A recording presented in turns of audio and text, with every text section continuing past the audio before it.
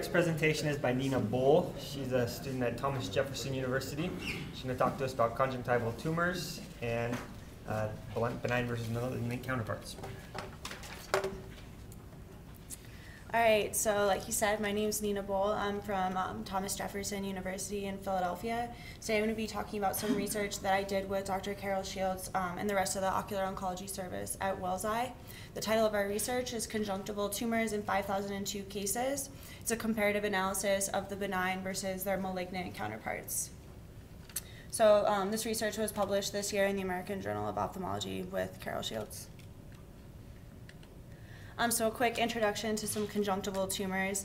Um, there's a wide variety of tumors that can be in the conjunctiva. More commonly, you can see melanocytic tumors such as PAM or melanoma, um, epithelial tumors like CIN, SCC, um, vascular tumors, lymphoid tumors, and then less commonly choristomatous, fibrous, neurolacrimal, just to name a few. Obviously, there's quite a range of tumors that can be seen. Um, the three most common conjunctival malignancies arise from or resemble some sort of benign or pre-malignant counterpart. So you have uh, primary acquired melanosis or PAM um, with, with, its melanoma counterpart, uh, conjunctival intraepithelial neoplasia or CIN with its SCC counterpart, uh, squamous cell carcinoma, and then benign reactive lymphoid hyperplasia, BRLH, and lymphoma. Uh, so the purpose of our research was to evaluate conjunctival tumors in a large retrospective series of 5,002 cases. Specifically, we wanted to look at those um, the common malignancies and then their benign and premalignant counterparts. Um, the purpose being so that it would be easier to distinguish between the two because oftentimes it's difficult to see, oh, is this CIN, is this SCC, et cetera, and really uh, see what the major features are of both. Um, so the methods, we reviewed all of the patients that were seen at, in the ocular oncology department um, that had a conjunctival tumor. It ended up being about 5,002 cases. We reviewed charts from April 1st, 1974 until um, August 1st, 2015. Uh, so we basically took down patient and tumor features such as age, race, sex, um, the tumor size, like the location, if it's along the limbus, if it's farther from the limbus on the tarsus, um, how big it was, the color, the shape, there's feeder vessels, etc. Um, and then the both the clinical and the histopathologic diagnosis. Um, all these features were analyzed and we created nine tables. So the data is actually quite extensive and I obviously don't want to go through every chart because that wouldn't be very interesting. Um, so just some selected results that um, I thought were interesting. So of the 12 most common tumors, if you look at the location of them, there really is a pattern that goes along with seeing where they are.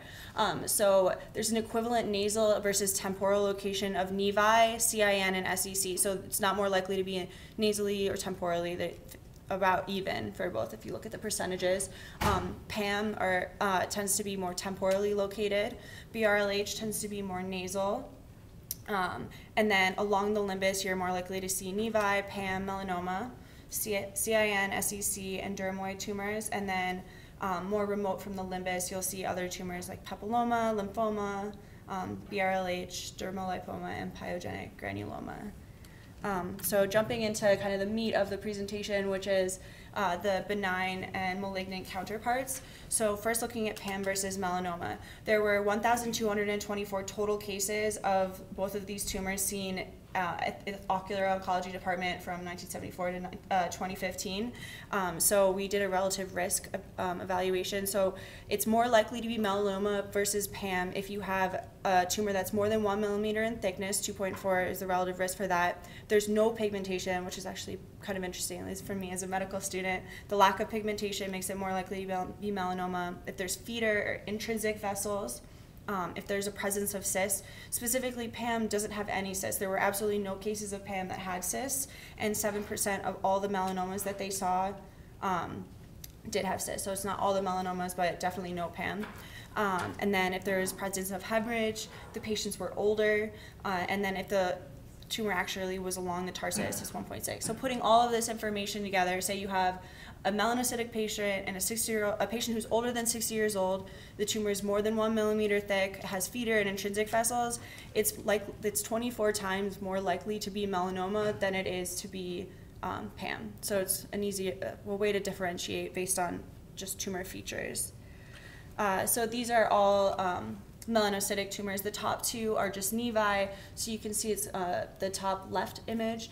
It's pigmented along the three o'clock limbus. It's pretty easy to see. Um, the top right is a little more faint. Uh, it's also a nevi. Um, the middle two images are both PAM. You see it's more widely dispersed. It's along the limbus. Um, definitely no cysts, and it tends to be flatter, less nodular. Um, and then the bottom two images are um, some angry-looking melanoma. The bottom left is nodular. You can see some um, feeder vessels that are uh, engorged. And then the bottom right, this is a black patient who had um, so the nodular area towards the right ended up coming back as being melanoma, and then the rest of the tumor that was along the limbus was just PAM, so he actually had both in his eye. Um, so the next um, benign and malignant counterpart. So for CIN and SCC, there were 715 total cases that we looked at, and the greatest relative risk for being SCC versus CIN. So if it's more diffuse, um, if there's any sort of brown pigmentation, it didn't have to be the whole tumor, just kind of some spots. Um, it made it more likely to be SCC. If it's more than 10 millimeters in basal diameter, and then finally if it's more than one millimeter thick. Um, a lot of these things are, are pretty intuitive, but I think that the, the combination makes it more interesting. Is if you have this epithelial tumor, it infiltrates the surface of the eye. It's greater than one uh, 10 millimeters in diameter, more than one millimeter thickness, um, and then there's some sort of region of pigmentation. It's 4.3 times more likely to be SCC than CIN. So a little bit less of impressive of a differentiation between the epithelial tumors and the um, melanocytic tumors. Um, so these are some images. The top two are CIN, the bottom two are SCC. Um, the top left is uh, it's uh, not as clear to see, but you can see it's no no pigmentation. There's maybe some vessels, but it's uh, not very clear. The top right is much more. You can see that there's a tumor there. Um, that's also CIN. Um, the bottom left, you can see there's some area of brown pigmentation. Um, definitely thicker feeder vessels and intrinsic vessels. Uh, the bottom right, this patient has pretty extensive SCC. There's some leukoplakia. It's really involving uh, the bulbar conjunctiva, and it, this patient was a heavy smoker, so it kind of makes sense that the, the tumor is more extensive. Um, and then the last differentiation um, of benign and malignant counterparts, so BRLH versus lymphoma or benign reactive lymphoid hyperplasia. So there are 465 total cases that were seen in the um, ocular oncology department. The greatest relative risk for being lymphoma is that if the patient's older, so that was actually quite a big relative risk 2.6. Um, if the tumor was both nasal and temporal, it's more likely to be lymphoma, which is this is a little bit confusing, but basically BRLH tends to be nasal. So if it's just nasal, it's less likely to be lymphoma. But if it's then it's and it's more likely to be a BRLH. But both it's lymphoma. Um, if it's more diffusely involved, um, if it's located superiorly and inferiorly along the tarsus, um, the tarsal conjunctiva, then it's um, more likely to be lymphoma, and then the large basal diameter um, and taking it together, a lymphoid tumor in patient who's older than 60 years old, um, if the tumor is located both nasally and temporally with a basal diameter more than 10 millimeters, there's a 6.2 times greater chance of being lymphoma over BRLH. Uh, so the top two pictures, these are in a child who has BRLH. You can see it's um, located nasally. Honestly, these um, these two tumors are quite diffi difficult to differentiate. You can see there's like the salmon patch uh, coloration, um, but the location does suggest that in a child is more likely to be BRLH. And then um, the bottom two pictures are lymphoma. It's really extensively involving um, the superior nasal um, conjunctiva. So there are some obvious limitations to this study. One, and probably the biggest one, being the fact that this is an ocular oncology service. So all of the patients that we're seeing are referred to the ocular oncology service.